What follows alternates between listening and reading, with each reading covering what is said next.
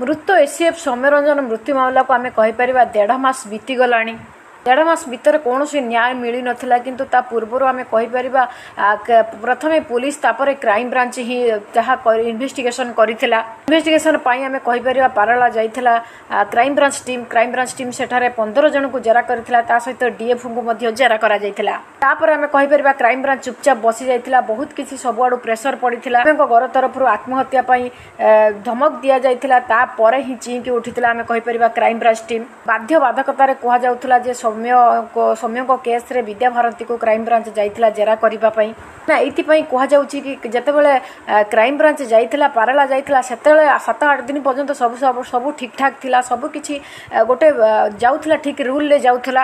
କିନ୍ତୁ ଯେତେବେଳେ ଡିଏଫ୍ଙ୍କୁ ଜେରା କଲା ଜେରା କଲା ପରେ କିଛିଟା ସତ କ୍ରାଇମବ୍ରାଞ୍ଚ କହିଥିଲା କିନ୍ତୁ ତାପରେ ଚୁପ୍ ରହିଗଲା କ୍ରାଇମବ୍ରାଞ୍ଚ ଟିମ୍ ତାପରେ ହିଁ ଆମେ କହିପାରିବା ଗତ ଦୁଇ ଦିନ ପୂର୍ବରୁ ହିଁ ବିଦ୍ୟାଭାରତୀକୁ ଜେରା କରିବା ପାଇଁ କ୍ରାଇମବ୍ରାଞ୍ଚର ପାଞ୍ଚ ଜଣିଆ ଟିମ୍ ଆସିଥିଲା। ଦୁଇ ଜଣ ମହିଳା ମଧ୍ୟ ରହିଥିଲେ। ଆମେ କହିପାରିବା ଯିଏ ରହିଥିଲେ ଡିଏସ୍ପି ଇମାନ କଲ୍ୟାଣୀ ସିଏ ବିଦ୍ୟାଭାରତୀକୁ ଜେରା କରିଥିଲା।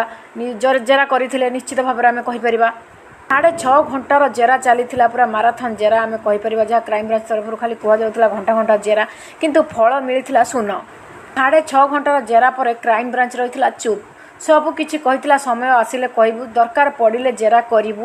ଏମିତି ବହୁତ କିଛି ମିଡ଼ିଆ ସାମ୍ନାରେ ଯାହା କ୍ରାଇମବ୍ରାଞ୍ଚ ଟିମ୍ କହିଥିଲା ଆଜି ବିଦ୍ୟାଭାରତୀକୁ ଜେରା ଜେରା କଲା ପରେ କ'ଣ କହିଲେ ଖାଲି କୁହାଯାଉଥିଲା ସତୁରି ତିରିଶ ଷାଠିଏ ସତୁରି ପ୍ରଶ୍ନ ପଚରାଯାଇଛି।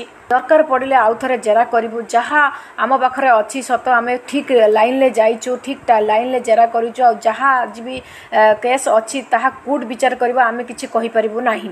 ଗୋଟେ ପ୍ରକାର ଆମେ କହିପାରିବା କ୍ରାଇମବ୍ରାଞ୍ଚର ଏମିତିକା କଥାକୁ ନେଇକି ସୌମ୍ୟଙ୍କ ଘର ଲୋକ ସନ୍ଦେହ କରିଥିଲେ। ତା ସହିତ ଆମେ କହିପାରିବା ବହୁତ ରାଜ୍ୟବାସୀ ମଧ୍ୟ ଅନେଇକି ରହିଛନ୍ତି। ରାଜ୍ୟବାସୀଙ୍କର ମଧ୍ୟ ସନ୍ଦେହ ହେଲାଣି କ୍ରାଇମବ୍ରାଞ୍ଚ ଉପରେ। କ୍ରାଇମବ୍ରାଞ୍ଚ ଉପରେ କାହାର ହାତ ଅଛି? କାହିଁକି କ୍ରାଇମବ୍ରାଞ୍ଚ ଚୁପ୍ ଚୁପ୍ ରହୁଛି? ଆ ଉପରେ ବଡ଼ ହାତ କିଏ ଜଣେ ନିଶ୍ଚିତ ଭାବରେ ରହିଛି? କାହାର ପାୱାର ରହିଛି? କାହିଁକି କ୍ରାଇମବ୍ରାଞ୍ଚକୁ ଦିଆଯାଉନି ପାୱାର କାହା ଚାପରେ ରହିଛି କ୍ରାଇମବ୍ରାଞ୍ଚ ଯେଉଁଠି ସୌମ୍ୟଙ୍କୁ ଦେଇପାରୁନାହିଁ ନ୍ୟାୟ? ବର୍ତ୍ତମାନ କଥା ଆମେ କହିପାରିବା କ୍ରାଇମବ୍ରାଞ୍ଚ ଉପରେ ଭରସା ରଖିଥିବା ସୌମ୍ୟଙ୍କ ବାପା ମାଙ୍କ ଉପରେ କୌଣସି ଆଉ ଭରସା ନାହିଁ। ବର୍ତ୍ତମାନ କ୍ରାଇମବ୍ରାଞ୍ଚ ଉପରେ ତ ସେମାନେ ସିବିଆଇ ପାଇଁ ସିବିଆଇ କି ଦିଆଯାଉ ବୋଲି ବର୍ତ୍ତମାନ କହିଛନ୍ତି। ନିଶ୍ଚିତ ଭାବରେ ଆମେ କହିପାରିବା ବିଦ୍ୟାଭାରତୀଙ୍କ ବିଦ୍ୟାଭାରତୀକୁ ଜେରା କଲା ପରେ କ୍ରାଇମବ୍ରାଞ୍ଚ ଟୋଟାଲି ଚୁପ୍ ହୋଇଯାଇଛି। ମୁହଁ ଖୋଲିବାକୁ ନାରାଜ। କାହା ପ୍ରେସରରେ ରହିଛି? କିଏ ଚାପ ପକାଉଛି? କାହିଁକି ଚାପ ପକାଉଛି? ରହିଛି ବହୁତ କିଛି ଭିତିରି କଥା ଯାହା ବର୍ତ୍ତମାନ ସୁଦ୍ଧା କୌଣସି ଉନ୍ମୋଚନ ହୋଇନାହିଁ। ତ ଆଶା କରାଯାଉଛି ଉନ୍ମୋଚନ ବହୁତ ଶୀଘ୍ର ହେବ ବହୁତ ଶୀଘ୍ର ନ୍ୟାୟ ମିଳିବ। ସମସ୍ତେ ଆଶା ରଖିଛନ୍ତି ସୌମ୍ୟଙ୍କ ପରିବାରକୁ ନ୍ୟାୟ ମିଳୁ ବୋଲି ସମସ୍ତେ ସମସ୍ତେ ପ୍ରାର୍ଥନା କରୁଛନ୍ତି। ତେଣୁ ନିଶ୍ଚିତ ଭାବରେ କ୍ରାଇମବ୍ରାଞ୍ଚ କ'ଣ କରିବ ତ କୌଣସି ଆଉ ଭରସା ନାହିଁ। ତେଣୁ ସିବିଆଇ ଆସିଲେ କ'ଣ କରିବ ବୋଲି ଆଶା କରାଯାଉଛି। ତ ଆପଣମାନଙ୍କୁ କ'ଣ ଲାଗୁଛି ନିଶ୍ଚିତ ଭାବରେ କମେଣ୍ଟ କରନ୍ତୁ। ରହୁଛି ନମସ୍କାର।